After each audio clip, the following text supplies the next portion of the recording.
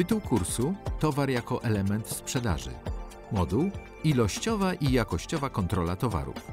Tytuł wideokastu Odbiór jakościowy towarów.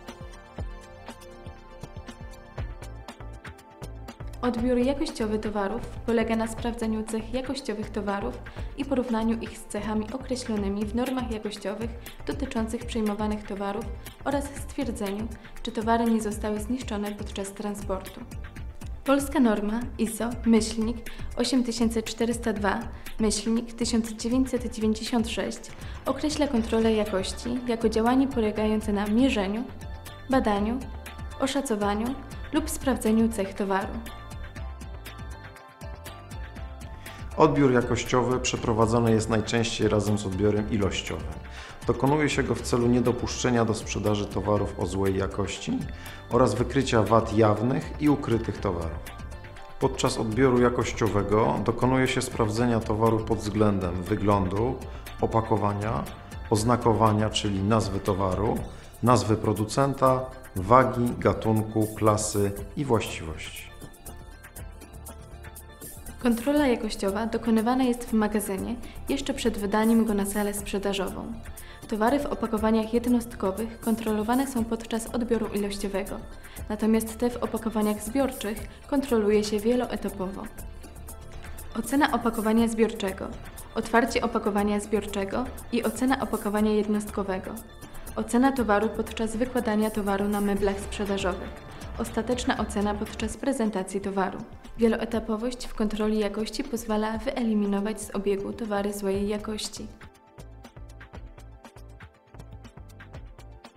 W przypadku przyjęcia dużej partii towarów odbiór może być dokonywany losowo, np. co dziesiąte opakowanie.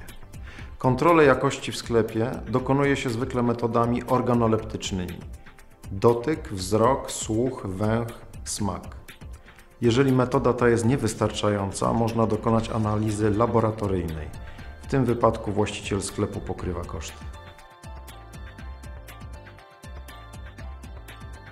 Towary, które pozytywnie przeszły kontrolę jakości, wprowadzane są do obrotu. Towary, które nie przeszły kontroli i nie nadają się do sprzedaży, powinny być zabrane przez dostawcę.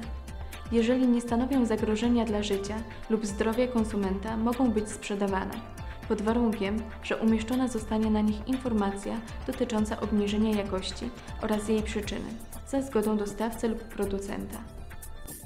W przypadku stwierdzenia różnic w jakości zadeklarowanej przez producenta sporządza się protokół różnic oraz dokonuje się zgłoszenia reklamacyjnego.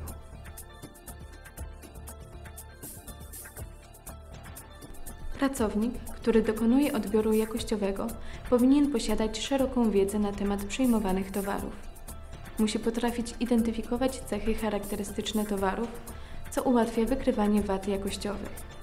Pracownik musi znać metody badań stosowane w odniesieniu do konkretnych artykułów. Dotyczy to szczególnie żywności. Materiał został opracowany w ramach projektu model systemu wdrażania i upowszechniania kształcenia na odległość w uczeniu się przez całe życie, współfinansowanego przez Unię Europejską w ramach Europejskiego Funduszu Społecznego.